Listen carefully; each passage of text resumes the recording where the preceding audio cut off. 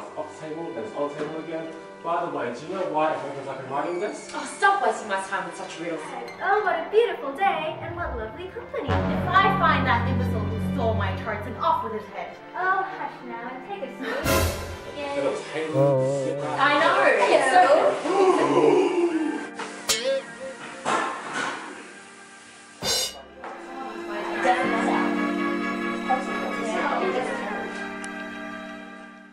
Is that her? Is that her? Of course it's her. I know her a mile away. You're so late, you know. We're all here having a tea party. It's not your fault because you're so late. You're very late.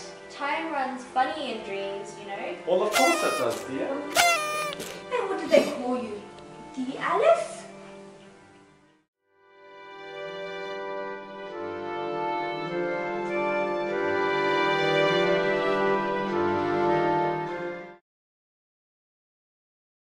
So we're starting off with a clean and moisturized face and I'm wearing a pair of hazel color contacts for this look.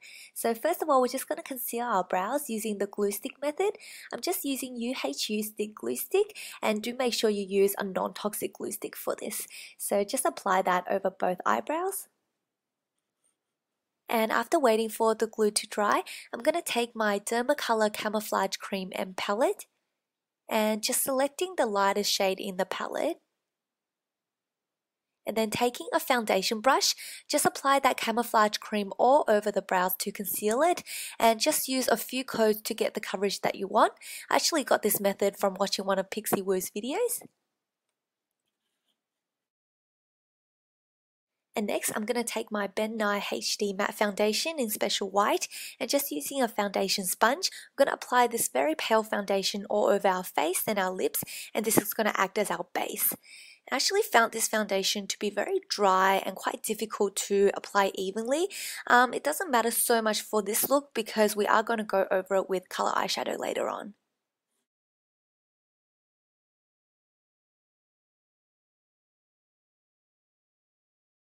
Rah! Did I scare you?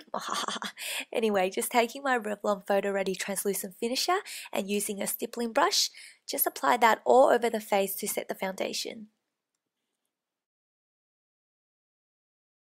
And now we're just going to get started on the nose. So just taking my Coastal Scents 88 Original or Matte palette and just selecting a light pink eyeshadow. And then taking a dense shading brush, first outline the shape of the nose and then just fill it in.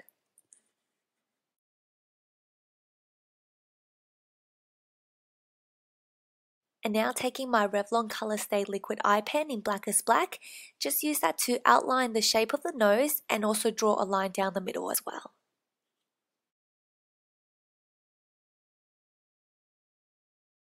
And next taking my NYX Jumbo Eye Pencil in Milk, I'm going to use it to outline my Cheshire Cat smile and you can just use a regular white eyeliner if you like. And then I'm just going to roughly fill it in as well. And next taking my Diamond FX White Face Paint that I bought from IMATS and just using a concealer brush. First dampen the brush in some water. And then swipe that over the white face paint so that it's ready to use. Now apply the white face paint over the entire mouth area that we just outlined before to intensify the white colour.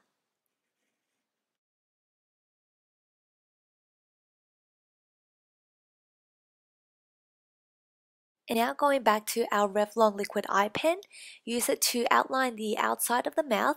And whoopsies, I totally go off camera in this part, so apologies for that. And also drawing the lines for the teeth, which makes up the Cheshire Cat's big and somewhat creepy smile.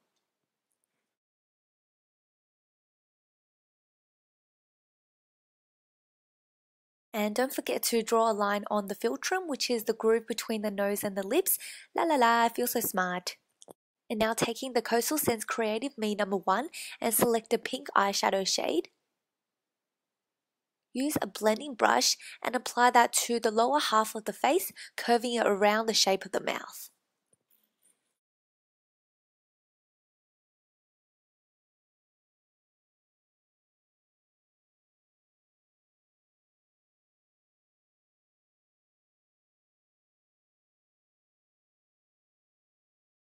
And now select the pinky purple eyeshadow shade and using a large shading brush, use that color to outline the pink that you just applied. And next taking the Coastal Scent Smoky palette and select a light purple shade.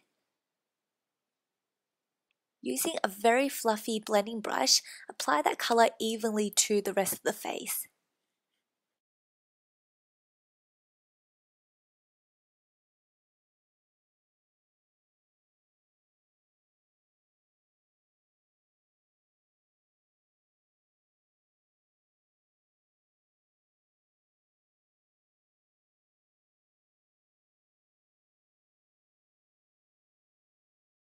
And now switching to a more dense blending brush, just use it to apply a second coat of the same purple eyeshadow to intensify the color.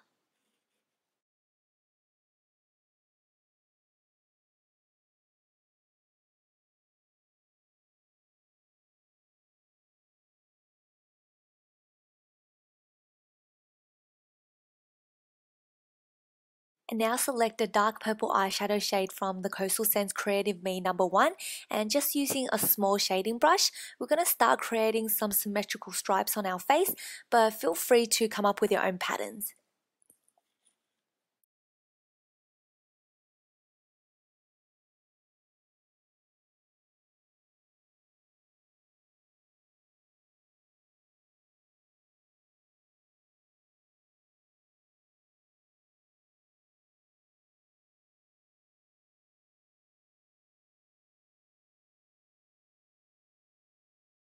And then apply the same purple eyeshadow to the top eyelid and also to the bottom waterline and then just wing it out to give it a cat eye effect. Meow!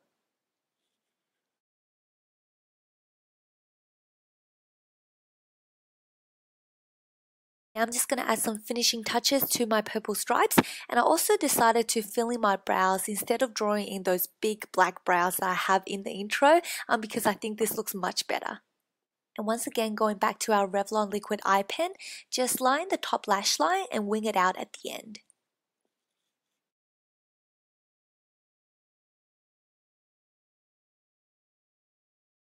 And next using the Maybelline Define-A-Line Eyeliner in Ebony Black, just use it to line the bottom waterline. Okay, I should really stop with the silly faces. Um, anyway, next I'm taking a pair of very dramatic false eyelashes and just applying that carefully to my top lash line and just pressing it down with a cotton bud. And lastly, taking my Rimmel Glam Eyes liquid liner in Black Glamour, draw in the cat whiskers using short, fast strokes.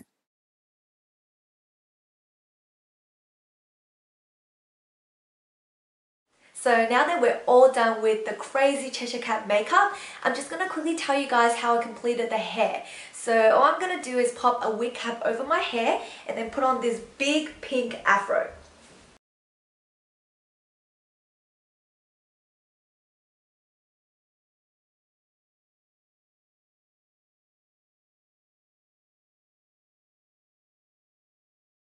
And now I'm just going to add on my cat ears. So I'm just going to use this one on a headband. Um, I bought this from a craft store and then I just used the same material I used on my costume and I just used like double-sided tape to pop these on the ears.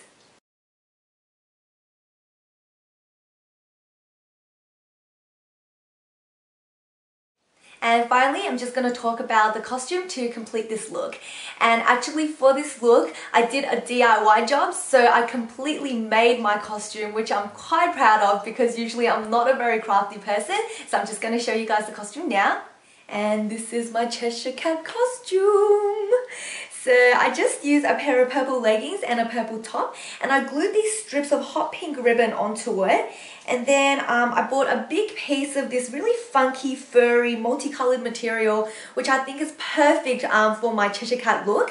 So I glued that onto my wrist onto um, the bottom of the top and also used it as a collar and on my feet as well. So these are meant to look like the feet of the cat and these are meant to look like the paws.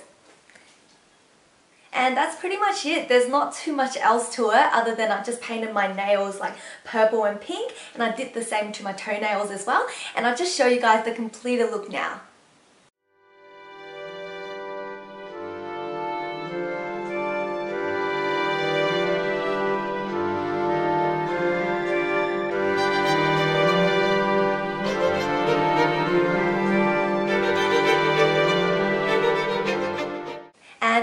My completed Cheshire Cat Halloween transformation tutorial and honestly I had so much fun making this video and I hope you guys had a lot of fun watching it as well. Remember you can always check out my blog at misspixielulu.com for lots more photos on this look and also on the collaboration as well. So I hope you guys all have a safe and fun Halloween and I'll see you all soon. Bye!